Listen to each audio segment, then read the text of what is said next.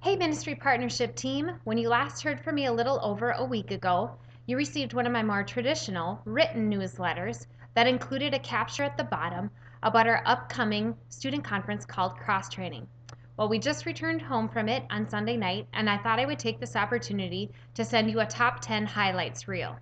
So here we go. Starting at number 10, you gotta go with the weather. I don't think in my five years on staff I can ever remember a cross training conference with weather as beautiful as we enjoyed up in Alexandria. It was great to get outside and enjoy some time with students during free time.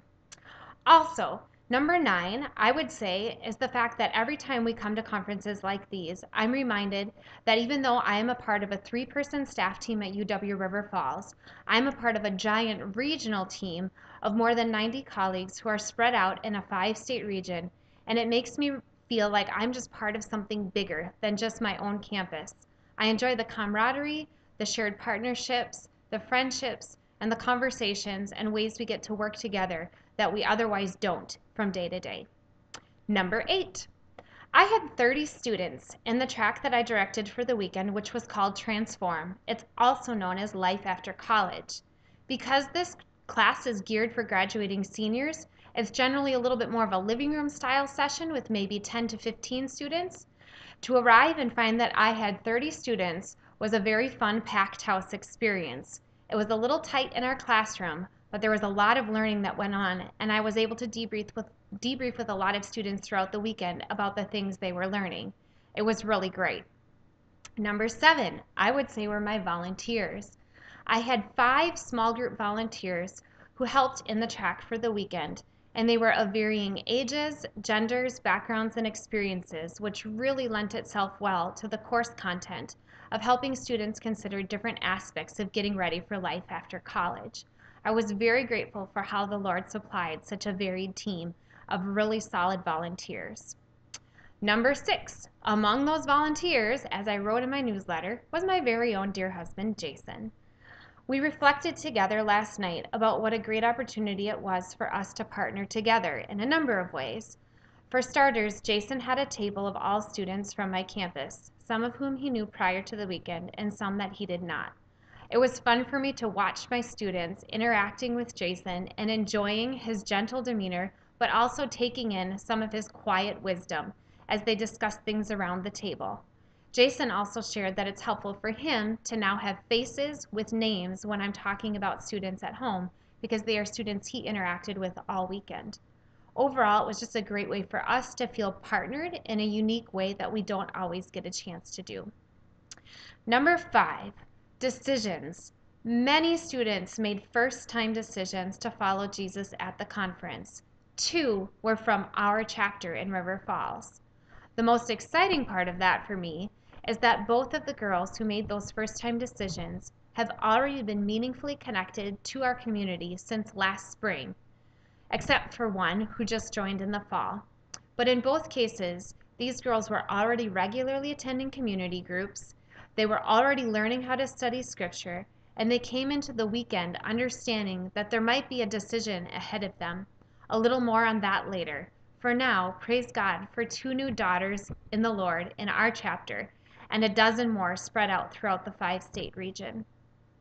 Number four, chapter health. Here's what I mean by that. We've been working very hard for two years at repositioning our chapter for growth after some bumpy transitions. We continue to see the fruit of that. Our goal was to bring 50 students from our campus. We brought 52, including four international students two from Japan, one from Taiwan, and one from Brazil. It was a wonderful thing to look around the room during our chapter times Friday and Saturday night and to see that representation as a whole on our campus, but also some of the who was in the room. With this, I would ask that you keep in mind uh, prayers for our chapter with regards to gender balance. I keep joking that by next year at this time, if the Lord doesn't send more men to our fellowship, we're going to become a Christian sorority. I don't think that will happen, but the reality is, we do need more men. Most of the men currently in the chapter are going to be graduating at the end of this semester or by spring. And we really do need the Lord to send some new men our way to continue building the base of leadership as a whole and males in the chapter. Number two, number two on my highlight reel would be follow up. Follow up is what we do after we return from weekends like this one. It's basically a process of taking the commitment and feedback cards that each student filled out, reading through to understand what they experienced, and then scheduling time to meet with them one on one to hear more about any decisions they made or things they are still processing. I have spent the better part of the last three days doing follow up. In fact, today I had back to back appointments from 10:30 to 4 o'clock in half hour intervals with one short break around lunch. But the highlight of it all was my number one position. Her name is Kelly Gertz. She's photoed in this newsletter. Kelly is a freshman this year she lives in Grimm, and she quickly was drawn in and invited by the student leaders who lead the community group in her hall. Kelly came to fall conference with a pretty solid understanding of the basics of faith, having grown up in the church.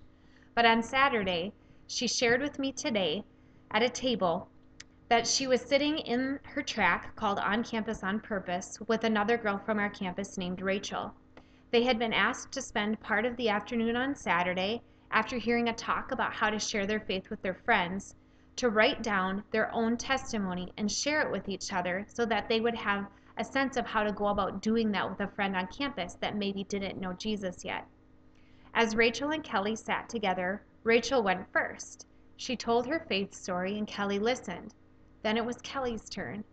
And as Kelly shared today, she said she looked at Rachel and started to write down the events of her life and looked at Rachel and said, Rachel, I don't have a story.